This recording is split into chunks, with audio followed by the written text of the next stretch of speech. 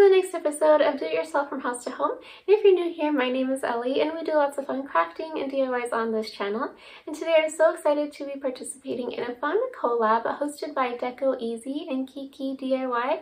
And today we are doing high-end decor for cheap.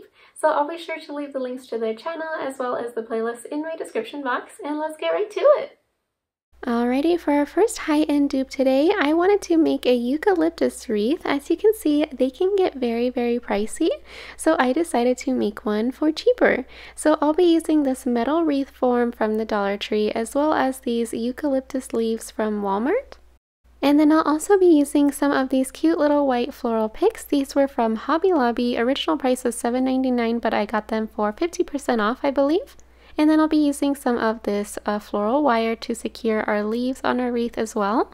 So first I just started off by deciding how I wanted to lay our leaves. And then once I have a good idea of how I want them to be, I'm going to go in and secure each leaf with a piece of floral wire. Next I'm going to go ahead and add in these cute little white floral picks as well.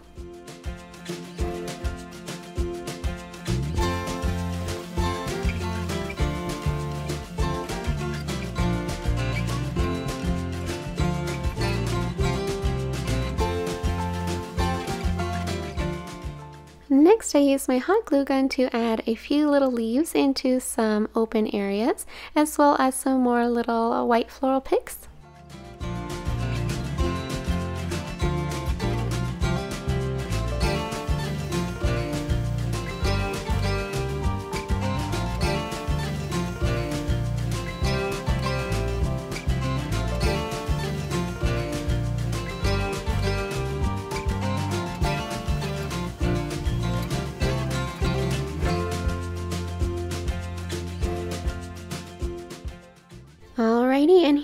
How our beautiful wreath turned out. Lastly, I'm just going to tie a piece of jute twine to the top so that I can hang it, and that'll be it for this DIY. For our next high-end dupe, I was inspired by this cute little whitewashed home tray from Kirkland's, and I found one very similar at Goodwill for $2.49. So first I'm just going to go in and remove these tags, and then I'm going to paint it using this white Waverly chalk paint.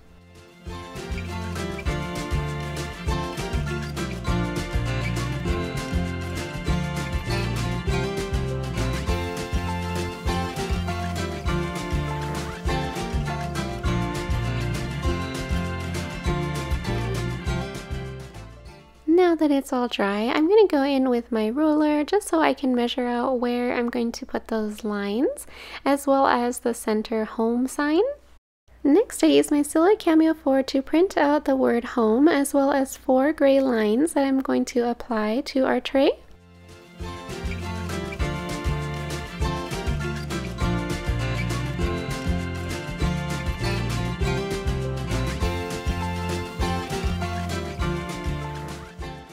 Next, I'm going to use some transfer paper to apply the word home to the center of our tray.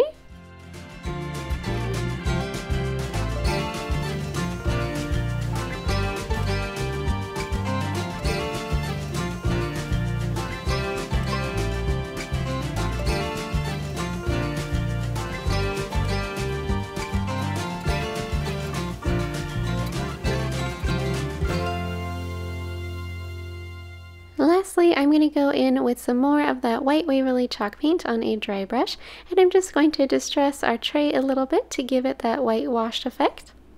And that'll be it for this cute little Kirkland's dupe tray. What do you guys think? For our next project today, I was inspired by these beautiful farmhouse candlestick holders.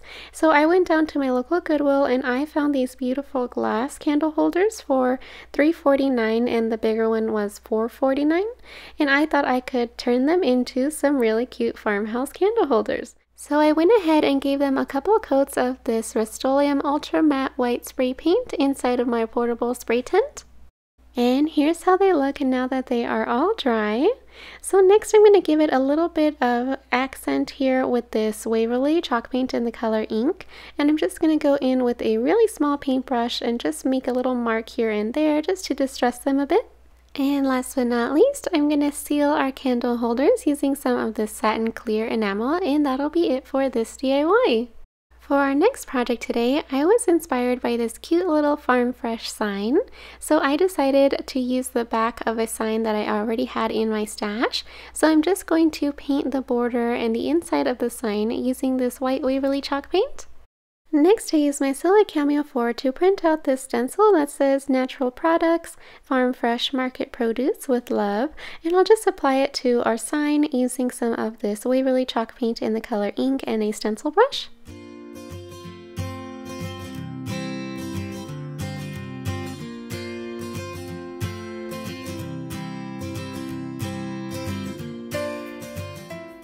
And last but not least, I'm going to go in with some of this Waverly Chalk paint in the color Mineral and Steel just to distress it a bit on a dry brush.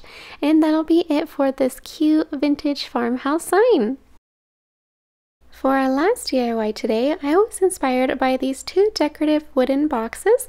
The first one says thankful and the second one says blessed, and each of them retail for about $20.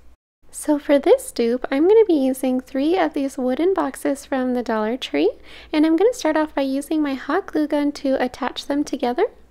Next, I'm going to stain our boxes using this Minwax wood finish in the color Ebony.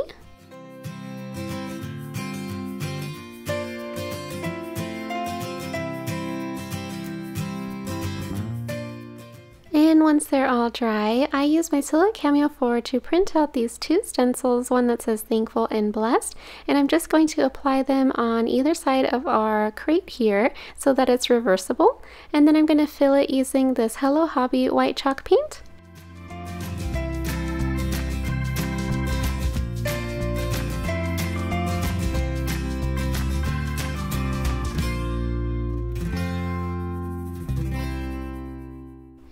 Once I finish weeding the stencil, I'm just going to add a few pieces of this Dollar Tree floral foam and some of these beautiful little floral picks from Hobby Lobby.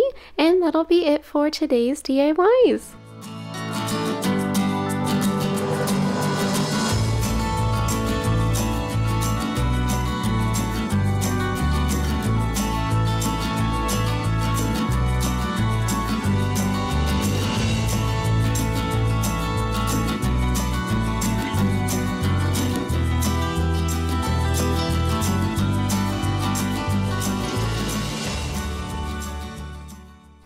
So much for watching today's episode, you guys. I really hope you enjoyed it. And if you did, don't forget to hit that like and subscribe button, as well as that notification bell to be notified when I release new content. And I'll be sure to leave the link to today's playlist so you can check out all the other amazing creators, as well as the links to my Etsy shop and my social media in my description box. Thanks, see you next time.